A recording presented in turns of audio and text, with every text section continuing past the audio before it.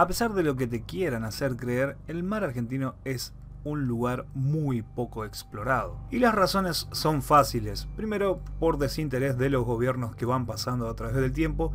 Y segundo, por falta de recursos e importancia, obviamente, para poder explorar este vasto lugar. Y a su vez muy misterioso. Es por eso que te traje 5 cosas que tal vez desconocías o cuanto menos te resulten interesantes de saber. Si es tu primera vez en el canal, por favor comparte el video, suscríbete y todas las cosas que ya sabes. Ahora sí, sin más que decir, así comenzamos.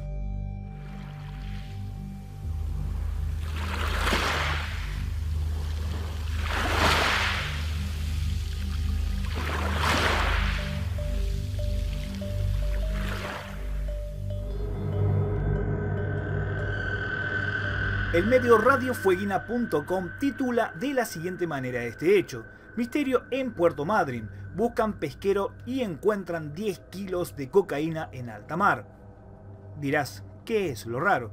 Ya vas a ver. Sería unos 10 kilos de cocaína que fueron capturados por la red de pesquero a casi 200 millas mar adentro. Los investigadores determinaron que por las primeras primicias realizadas podría tratarse de cocaína de máxima pureza. Y así fue. Según las autoridades dicen, este caso es raro. Se refería a 8 paquetes de cocaína. El hallazgo de la cocaína se da cuando el barco de la empresa pesquera con apresa o con apresa, levantó entre sus redes 8 paquetes de cocaína con un peso de entre 9 y 10 kilos, mientras pescaba a 191 millas náuticas a la altura de Puerto Madryn. La pregunta es, ¿cómo fue a parar, cómo fueron capaces de levantar del fondo 10 paquetes de cocaína?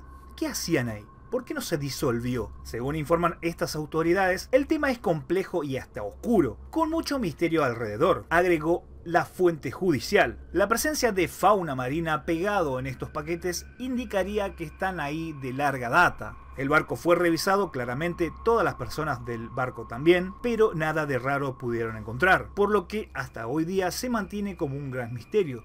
¿De dónde venía esa cocaína?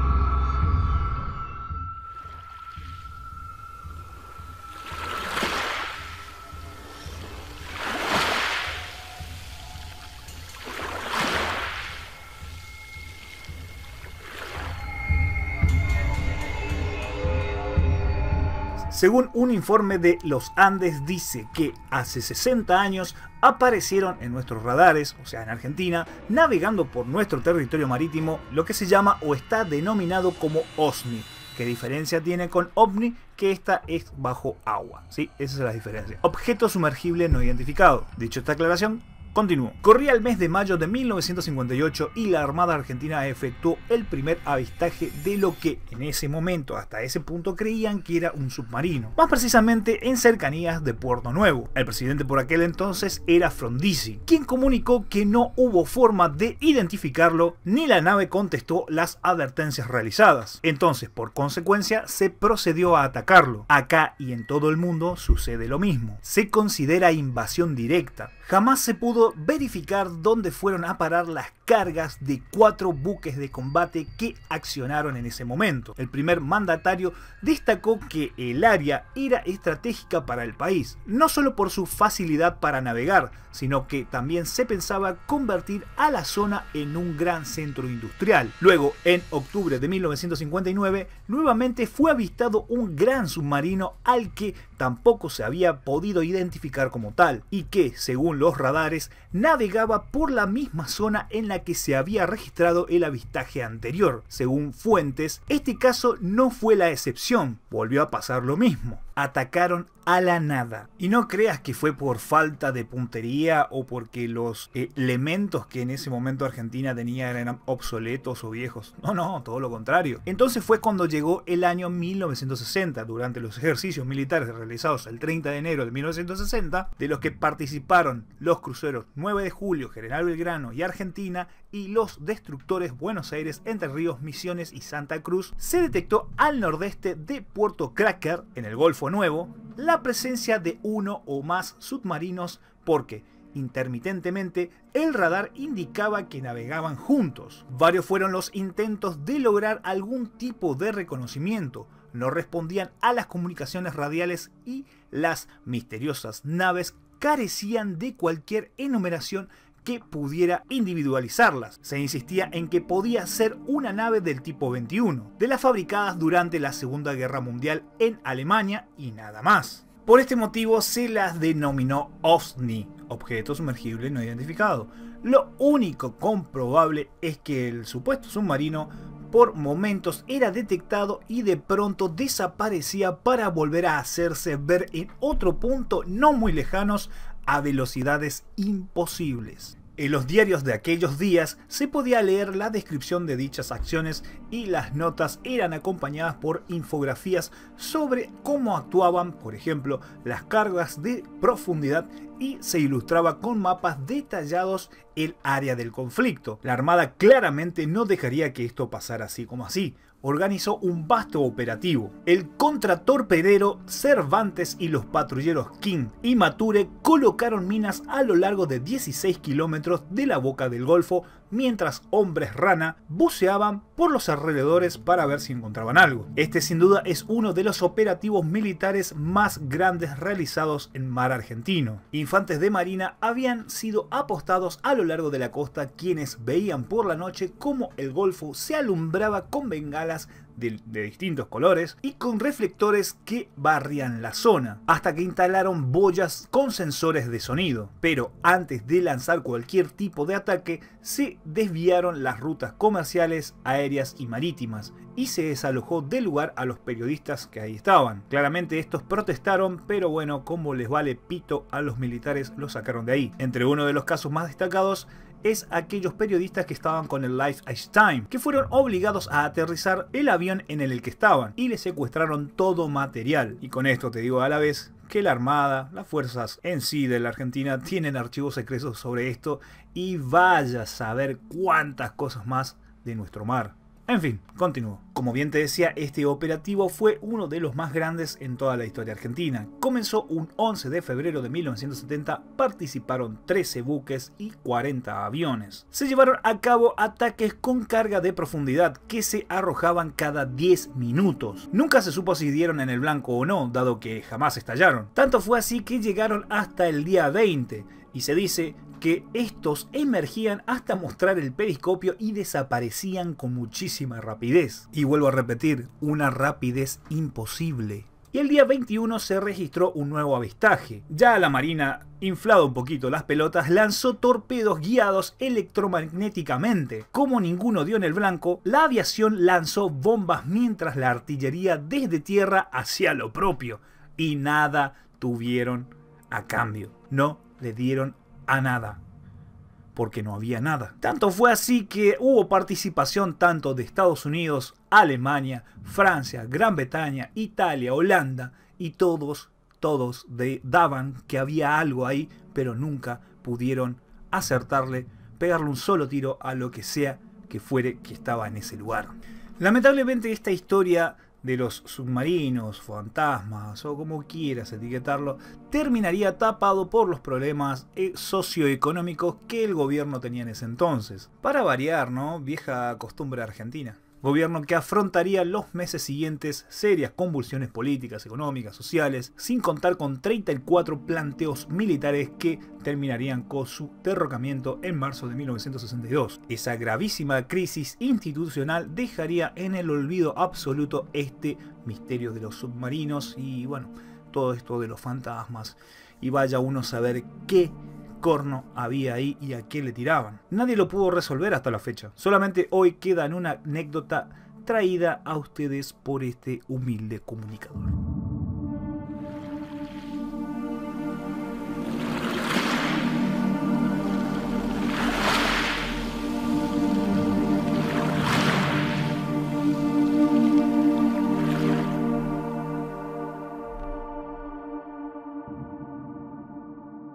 Tengamos en cuenta que el primer caso ovni registrado en Argentina fue el 10 de julio de 1947 en la ciudad de La Plata. Y de ahí empezaron a verse de todo alrededor de todo el país, incluyendo los OSNI. Es así como tan solo cinco días después se da el primer registro OSNI, que se da a las 9 de la mañana. Tripulantes de un buque polaco amarrado en Puerto Nuevo, como a su vez personal de prefectura uruguaya, detectan la caída en el río de la Plata de un artefacto, entre comillas, ¿no? Extraño similar a un avión. Ante semejante denuncia se da inicio a las averiguaciones en todas las empresas aéreas, si alguna de sus aeronaves había sufrido un percance, claramente, y para su sorpresa el exhaustivo resultado fue nulo. La pregunta era, ¿Qué fue aquello entonces? Al parecer jamás lo sabremos. Avanzamos en el tiempo y ya entramos en los años de la década de los 50. Noticias pertenecientes a la Patagonia Argentina daban reportes de que objetos similares en descripción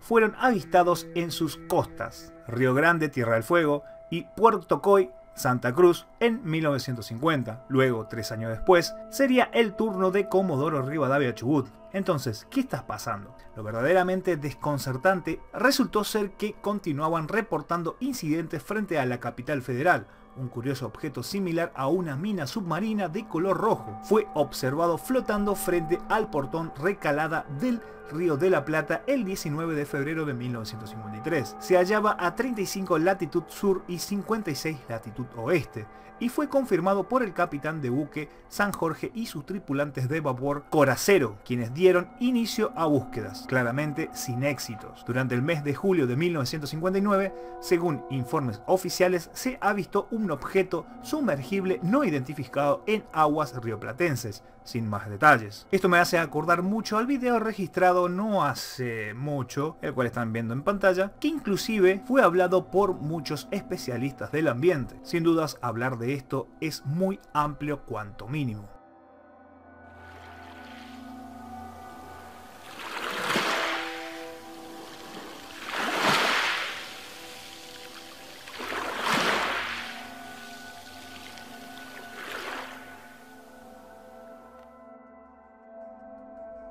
Esto será pura y exclusivamente mi opinión en base a diversos informes que leí sobre este tema.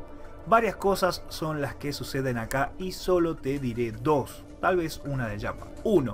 La cero exploración de nuestro territorio marítimo se sabe muy poco y casi nada te diría, sobre todo sobre el fondo del mar. Quién sabe cuántos bichos o monstruos marinos habitan por ahí. Actualmente lo único que se hace a nuestro territorio azul es patrullarlos con prefectura y la armada, que tienen el deber de expulsar a todo aquel que navegue ya sea por debajo del agua, sobre el agua y vía aérea, claro, de manera ilegal. Clarísimos ejemplos son los barcos pesqueros chinos y de otras nacionalidades que están por acá pescando de manera ilegal, que varias veces fueron noticia y según algún que otro miembro de la Armada me dijo extraoficialmente es solo un pequeño porcentaje lo que se filtra en cuanto a estos asuntos, es decir, hacia los medios. Nos enteramos muy poco sobre esto. A esto sumale el interés social. Este asunto es una clara falta de política con respecto al proceder de este. Número 2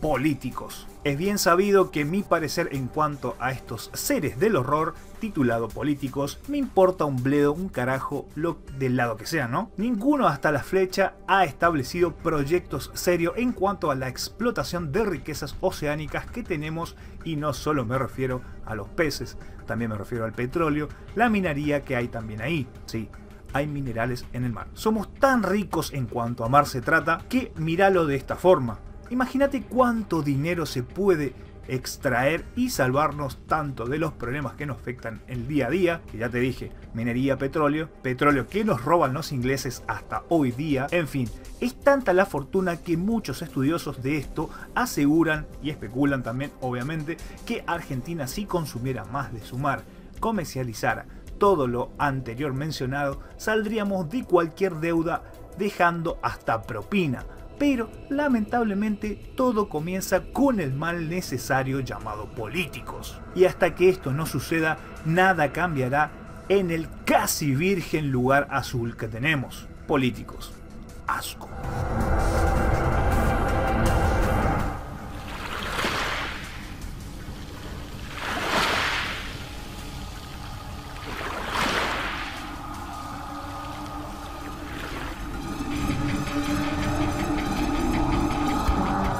Pasó realmente con el Ara San Juan? Es un misterio que hasta hoy día sigue vigente. Ya pasaron tres años de este lamentable suceso y hay en internet varios reportes que afirman que no fue un accidente.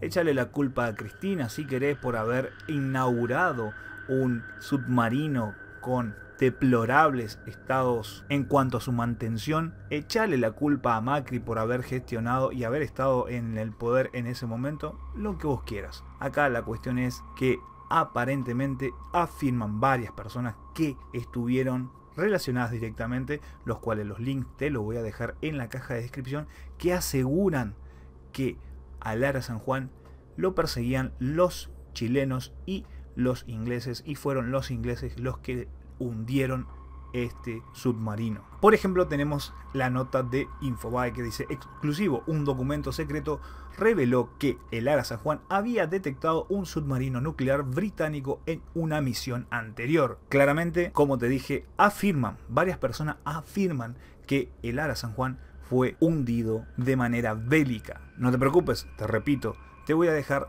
en la caja de descripción los enlaces directos para que vos vayas y leas las notas completas. Por otro lado tenemos el sitio lacapital.com.ar que dice el último mensaje de un submarinista dice nos persiguen los ingleses y chilenos. El suboficial Roberto Medina le envió un WhatsApp a su hermana contándole que navegaban cerca de las Islas Malvinas fue un 4 de diciembre, link que también te dejo la caja de descripción. Y por último, también en YouTube puedes encontrar con, el simple, con la simple búsqueda de El Ara San Juan lo hundieron. Lo pones en el buscador y te van a, vas a encontrar varios, ¿sí? varios videos en donde hay, entre comillas, supuestas, supuestos audios filtrados de la Armada Argentina y de eh, miembros de la tripulación que hablaban con sus seres queridos antes de perder toda comunicación y terminar como ya todos sabemos. Así que tenés esas tres cosas. Yo, por mi parte, quiero preguntarte a vos, ¿vos qué crees realmente que pasó con esto? Esto es un misterio dentro de nuestro mar argentino. ¿Fue una falla técnica? ¿La, ¿Tuvo la culpa eh, un gobierno anterior por no eh, prever bien estos asuntos? ¿Tuvo la culpa el gobierno anterior por también no prever bien estas cosas? ¿Realmente los hundieron los, los ingleses? Los, ¿Nos perseguían los, los chilenos? Yo quiero que todas esas preguntas me las dejes en las cajas de comentarios. Me respondas en la caja de comentarios vos qué crees. Yo, por mi parte, yo creo que lo hundieron. O sea, yo, yo creo que lo hundieron los ingleses, pero, ¿sí? Pero esa es solo mi especulación. Quiero saber lo que vos opinás.